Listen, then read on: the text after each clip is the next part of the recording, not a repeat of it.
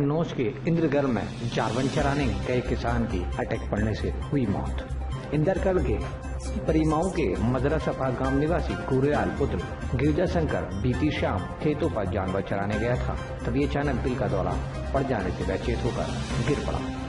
उसे देखकर अन्य आए चारवाहों ने दौड़कर उसको उठाया और उसकी सूचना उसके परिजनों को दी। परिजनों ने 108 एंबुलेंस पे सूचना दी तथा उनको मेडिकल ले गए, जहाँ डॉक्टरों ने उसे मृत घोषित कर दिया। इतना सुनते ही परिवार में कोहराम मच गया।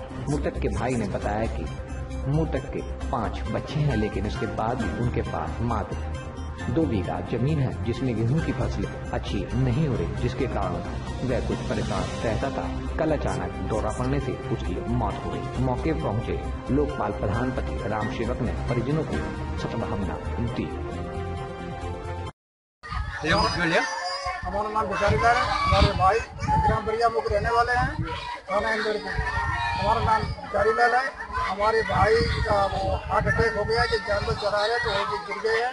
वहाँ घर के घर पे सब लोग लेकर आए हैं।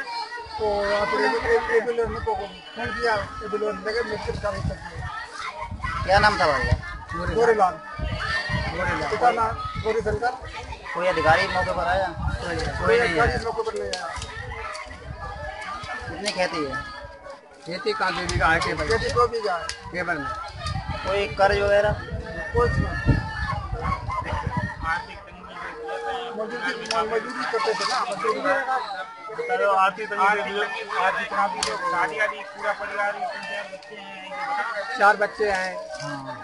हैं। इनके गुरगाल के चार बच्चे हैं। और आपको परिवार बड़ा कमज़ोर है ना